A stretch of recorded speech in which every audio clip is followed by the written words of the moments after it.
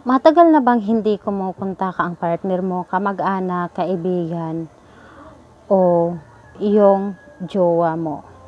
Hello mga guys, kumusta kayo? Panibagong araw, panibagong video na naman tayo. And sa araw na ito ay isa na namang video ang aking ituturo sa inyo na simpleng gabay o simpleng pamamaraan na makakatulong sa atin. At bago ang lahat, gusto ko lang mag-disclaimer sa mga taong hindi naniniwala at hindi gusto ang mga kagaya nitong video.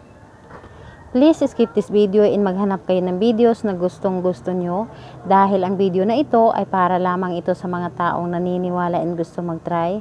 At ngayon ituturo ko sa inyo paano pauwiin ang matagal ng hindi nagpaparamdam sa inyo o hindi na umuwi sa inyo gamit lamang ang damit. So, damit po ng inyong partner. So, dito ay pwede itong gawin sa inyong partner na babae ito babae and lalaki ito lalaki din. Pwede rin ito sa magkalapit at magka-LDR kung meron kayong gamit. Halimbawa ay mag-asawa na magka-LDR, magkalibin na magka-LDR, mag-boyfriend, girlfriend na magka-LDR, ngunit may gamit sa isa't isa.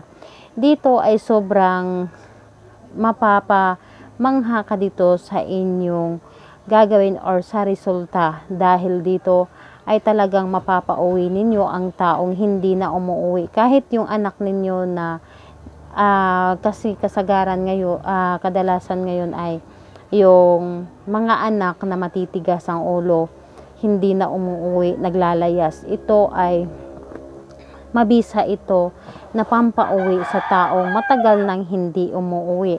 So, kailangan lamang natin dito ng damit na hindi pa nalabahan. Yung damit na hinubaran or hinubad na hindi pa ito nalalabahan. Paano kung wala kayong damit na hindi pa nalab ay paano kung wala kayong damit na hindi pa nalabahan at ito ay uh, nalabahan na, yung malinis na, pwede po. Kung wala kayong wala kayong damit na hindi pa nalabahan, kung ito ay nalabhan mo na ay okay lang din. Pero mas maganda talaga kung hindi mo pa ito nalabhan. So, any kind po, pwedeng, pwedeng panyo, pwedeng towel, pwedeng shorts, vree, panty, any, any kind po na gamit, uh, gamit niya or damit niya na nasuot niya, na niya. Pwede ring singsing, pwedeng relo, yung alahas pwede yon ang importante ay sa kanya po ito or sa kanya ito galing. Halimbawa ay pwede rin na yung niregaluhan kanya. So, kung niregalo niya yun sa, sa iyo, so galing sa kanya yon So, pwede mo yung gamitin para ang taong yon ay mapauwi. So, ang gagawin ninyo, kung ready na yung mga nabanggit ko sa inyo na materialis, kung sa damit, kung sa damit para para ano, para mabilis siyang mapauwi, ang gagawin ninyo sa inyong lutuan. Halimbawa ay may kalan kayo, yung hindi ano ha, yung hindi gasol. Sa may lutuan yung sa kalan ninyo yung oling. Ang gagawin ninyo, itatali niyo yan doon. Itatali ninyo doon sa may inyong lutuan. Pero siguraduhin ninyo na walang makakakita sa inyong ginawa. Kung sa partner ninyo, ganun din ang inyong gagawin. Siguraduhin ninyo wala makakakita. Ang gagawin ninyo, itatali niyo doon sa may lutuan. At pausukan na pausukan ninyo yon.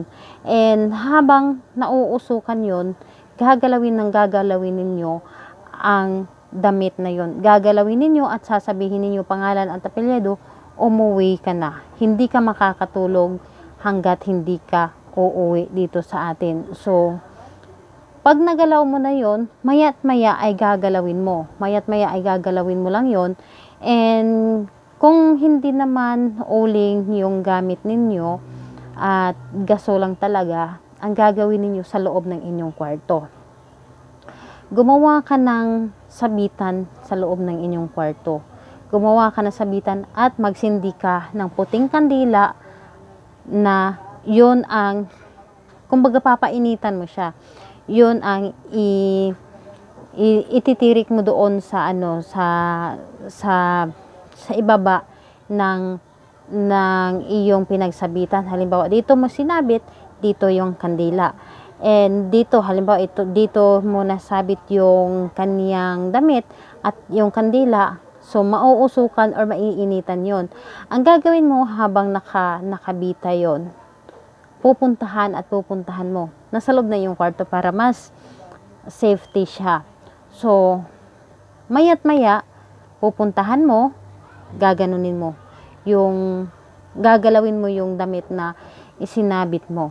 At sasabihin mo, pangalan at apelyido, umuwi ka na, hindi ka makakatulog hanggat hindi ka uuwi dito. So, ganun yon Ganon at sa mga anak ninyo na naglalayas. Napakasimple lang gawin upang umuwi ang inyong anak. Or di kaya'y halimbawa gusto ninyong mamimiss kayo ng husto ng inyong partner. Mamimiss, ngunit mababalisa sila na hindi makakatulog. Ang gagawin ninyo, mapa, mapadumi man ito, mapaduming damit or uh, malinis na damit, ang gagawin ninyo, bago ka matulog, yayakapin mo yung kanyang damit yayakapin mo yung kanyang damit na kausapin mo. Yung para ibibisualize mo na siya yung kayakap mo at kausap mo. So, yayakapin mo siya na may buong pagmamahal na pagkayakap at magsasalita ka or kakausapin mo. Halimbawa, ay sabihin mo na mamimiss mo ako ng husto or miss na miss na kita, magpaparamdam ka na sa akin, umuwi ka na sa atin, kontakin mo ako, tawagan mo ako. Yung tipong ano talaga, na siya talaga yung kausap mo. I-imagine mo. Then, ang gagawin mo, halikan mo.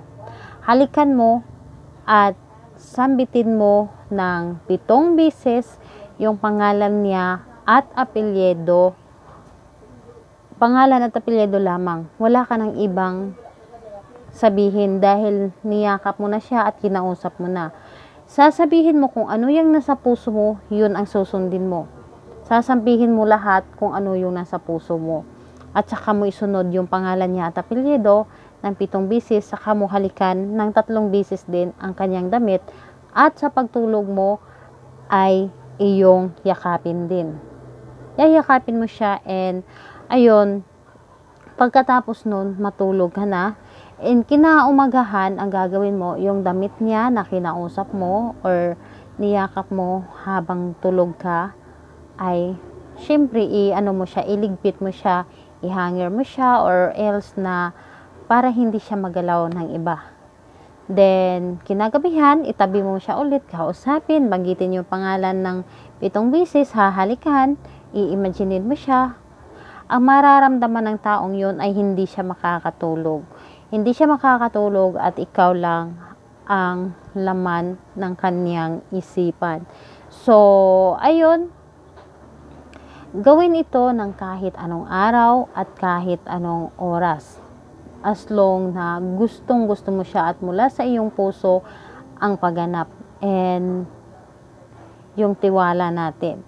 So, kung may mga katanungan kayo, i-comment nyo na lang sa baba upang ma-replyan ko kayo. Bye-bye everyone. God bless us all.